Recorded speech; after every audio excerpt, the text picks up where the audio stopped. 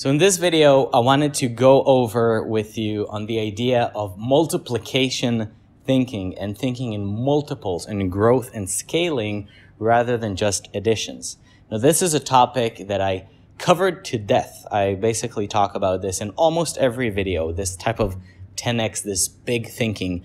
And you might be thinking, you know, you talk about this too much. Now, the problem is not that I'm talking about it too much. The problem is that you haven't multiplied yet.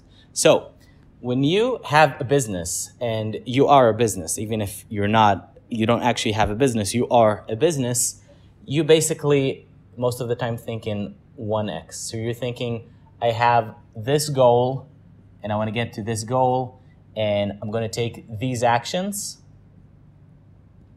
and this is how I'm going to get there. So this is my strategy. Once you actually find something good, once you actually find something that works for you, um, you again, you, you have the right strategy that leads to the right actions, and then you get to the goal. Most people's problem is that the goal is not satisfying enough in the first place to want to stick with it because a regular goal, getting from, let's say, 5,000 a month to 6,000 a month, would be the almost the exact same effort as getting to 60,000 a month Maybe this would be even less effort, by the way, because this requires people. This requires multiplication. You most likely won't be able to do this on your own. Now, most people, again, they think very, very small. They think basically in, in increments, and that's why their life doesn't ever change. That's why their life always looks exactly the same. The biggest mind shift that I had personally was in the, the thinking, the scaling, the thinking in multiples. And what I do, the trick that I use to make sure that I do that is I write down my goals. And when I write down my goals, I make them really, really big. So for example, I own a $5 billion company. I make over $100 million per month. I have 250,000 employees.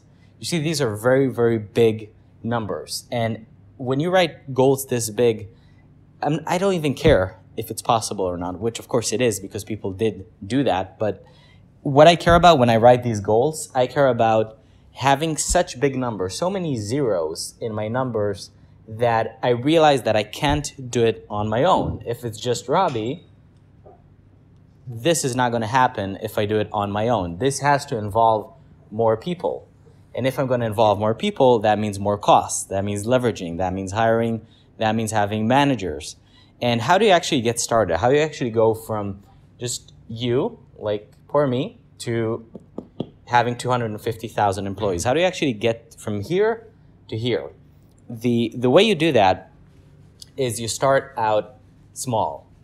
You know, and, and again, this is, I know this is really uh, contradictory to hear, hear Robby talking about small, but you want to start small when you take these bets because at the end of the day, people are what's going to make you successful.